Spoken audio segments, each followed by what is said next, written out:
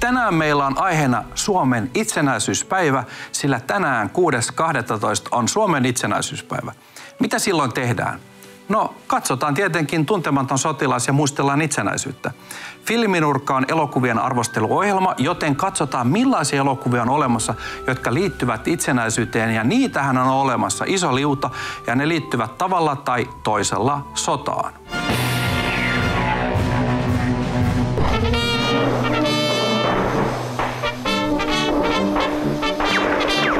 Väinö Linna rakensi terapeuttisen romaanitrilogian kansalaissodasta 1918 ja suomalaisten jakautumisesta verisesti punaisin ja valkoisin. Sille saattoi kuvitella vain yhden ohjaajan, Edwin Laineen. Hän oli vastannut ennen täällä Pohjantähden alla suurfilmiä tuntemattomasta sotilastakin.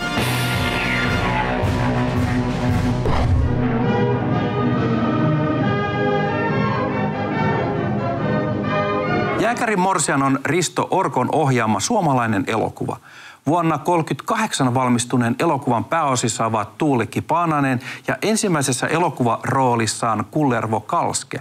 Elokuvassa esiintyy myös aiemmissa vuoden 1931 versiossa Marttia näytellyt Tauno Palo. Jääkäri Morsian heijastelee myös toista maailmansotaa edeltänyttä antisemitismiä. Jääkäri Morsian oli Suomi-filmin tuottoisin elokuva vuonna 1938.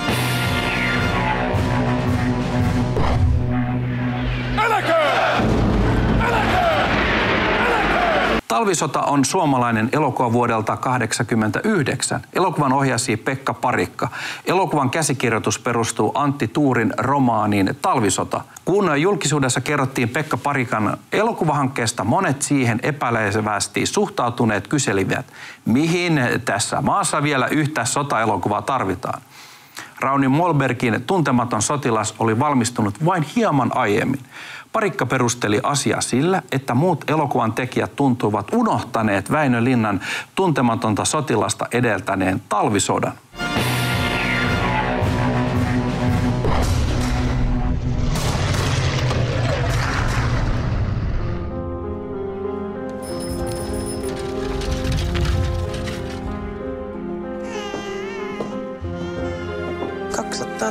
sakemannia jolkkaa pitkin peltoa, niin sinä hupenee siviet neijät ja teuraskari. Rakas Jumalani, jos minulle tuon miehen annat ja täältä pois viet, niin muuta en pyy. Antti J. Jokisen ohjaama ja Katja Ketun palkittuun menestysromaaniin perustuva Kätilö on tosipohjainen kertomus vikasilmäksi haukutun Helenan rakastumisesta saksalais-suomalaisen SS-upseerin Lapin sodan kynnyksellä –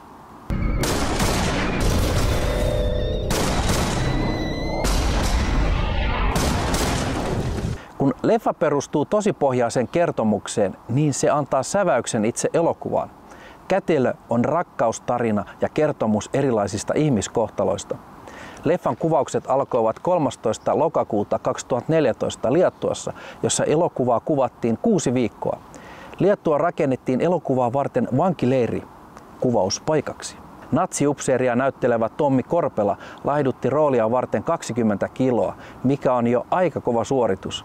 Krista Kosonen leikkasi niin ikään pitkät hiuksensa Helenan roolian varten ja opetteli vahvan murteen ja suoritus olikin uskottava. Krista Kosonen, näemme juuri Kätilö-elokuvan.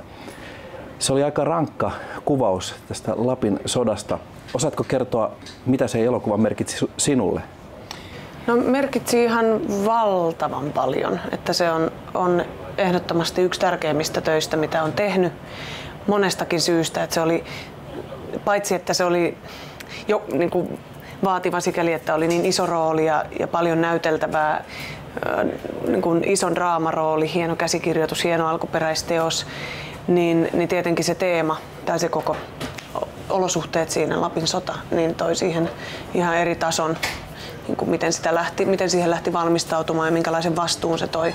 Antti tykkää hyvin tarkkaan rakentaa, rakentaa niin kuin kokonaisuutta ja roolihenkilöitä ja musta se on niin kuin näyttelijänä saa olla kiitollinen, koska et siitä kaikista pienestä sirpaleista ja huomioista ja niin kuin, tota, noin, niin semmoista ärsykkeistä, mitä se heitti, niin kun koet, siitä oli mulle paljon apua, että aina niin kuin, että, niin. että, että tota, se pyrkii mahdollisimman paljon auttaa näyttelijöitä ja sitten tietysti vielä niin kuin vaatii niiltä, että täällä niin se on, tota, kyllä se on tosi kiinnostavaa. Ja sitten Et kovin paljon puhu Saksaa, mutta miten sisäisesti tämän?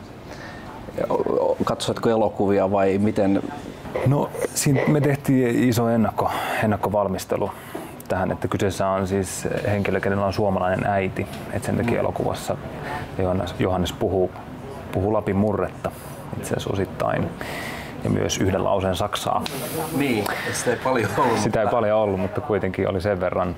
Mutta tota, mä tutustuin paljon his- historiaan, niin kuin Lapin sodan historiaan, myös toisen maailmansodan historiaan ja katsoin, mm. katsoin dokumentteja. Nyt vain. Ja jos me ikinä joudumme erilleen, niin tämä on se paikka, missä näemme taas. Kuolleen miehen maja, luppatko? Luppaa. Meillä, meillä luppaa ja sinä täällä odota, vaikka tulisi nikkelimyrkytys. No pauhaa Stalinin urut.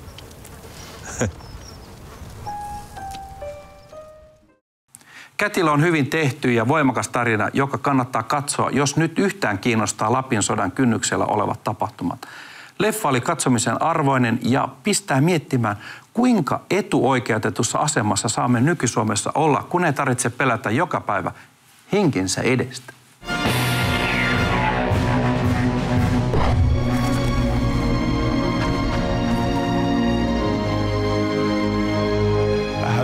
Sotahan.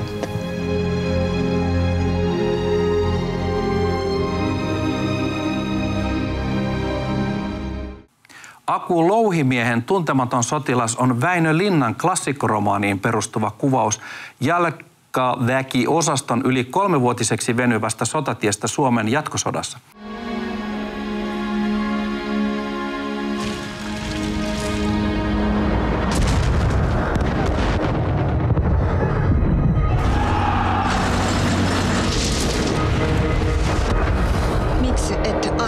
Meidän olla rauhassa? Hito te aloititte.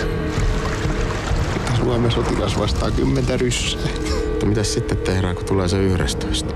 Ö, Hyvin monet teistä muistavat kaksi aiempaa filmatisointia tuntemattomasta sotilasta. Uusi versio on Aku Louhinniemen ja Väinö Linnan klassikkoromaaniin perustuva kuvaus jalkaväki-osaston yli kolmivuotiseksi venyvästä sotaretkestä Suomen jatkosodassa. Elokuvassa kerrotaan Rokan, Kariluodon, Koskelan, Hietasen ja heidän taistelukaverien tarina. Mikä yhdistää nämä miehet? No tietysti kaveruus, huumori ja erityisesti halu jäädä henkiin. Sota muuttaa peruuttamattomasti niin yksittäisen sotilaan kuin kotirintamalle jääneekin elämää ja jättää oman jälkeensä koko kansakuntaan. Katsotaan miltä näytti vuosi sitten tuntemattoman kuvauspaikalla.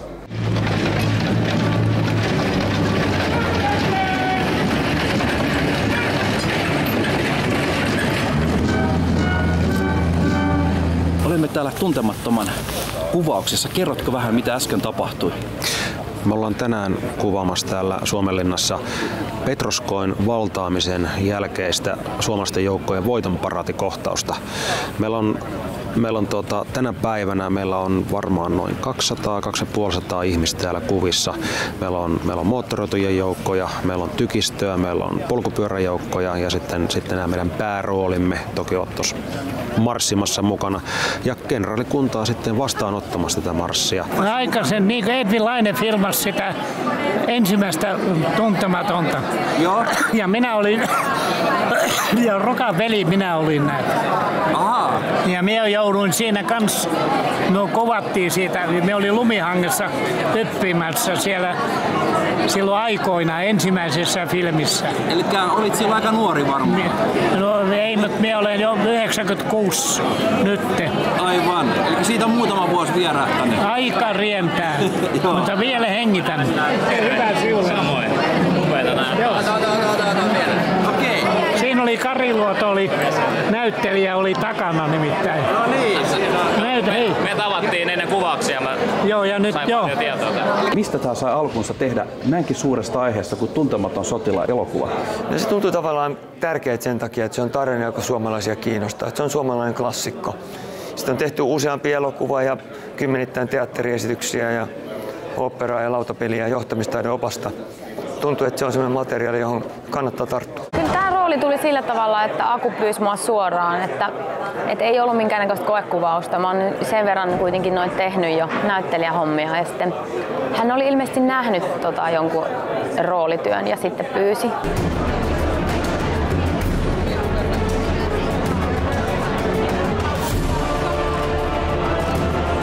Haluan nyt kaikille katsojille painottaa, kun menette katsomaan tätä Akulouhimiehen uutta tuntematonta, niin koko sen kolmen tunnin ajan, kun katsotte elokuvaa, niin pitäkää mielessä, että elokuvan pääosassa olen minä.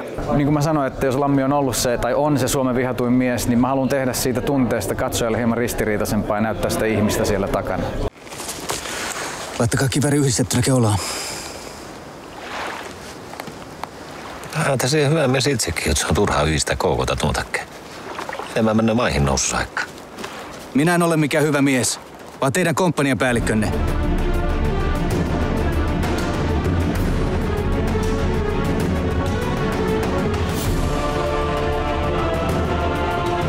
Mä just kävin tuossa työryhmänäytöksessä katsoa tän, tän niin kuin niin. Siinä oli tosi hienosti. Mä en ollut tiennytkään, että tähän, tässä oli yhdistetty niin kuin muutamia arkistomateriaalipätkiä missä, ja, ja sitten niin kuin ihan tätä kuvattua materiaalia, siis muutamia pätkiä niin kuin vanhaa matskua, niin se sopi tosi hyvin ja jotenkin hekin saivat, niin kuin, niin kuin, ne oikeasti se sukupolvi, joka on silloin elänyt, niin pääsi niin kuin jotenkin tähänkin leffaan mukaan.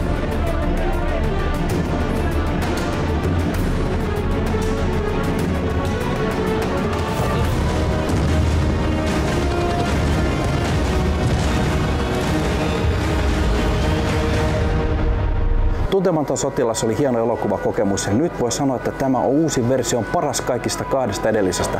Aku Louhimies on saanut näyttelijästään kaiken irti ja pystyy kuljettamaan tarinaan jouhoasti eteenpäin.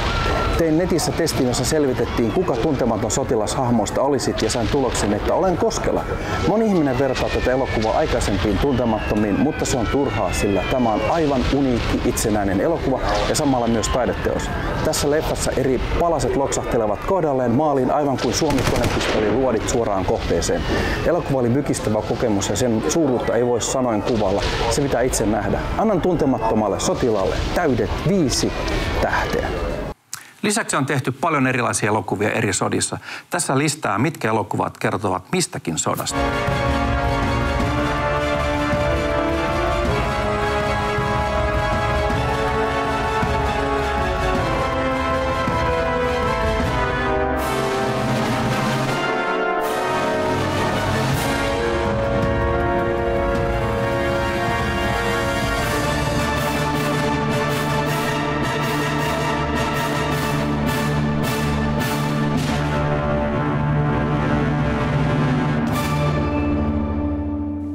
Kiitos taas seurasta.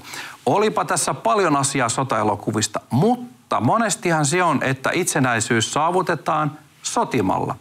Oikeammin äh, oikealla tavalla, siis olkaamme oikealla tavalla ylpeitä, että saamme olla suomalaisia asua vielä turvallisessa maassa. Ensi kertaan. Moi moi!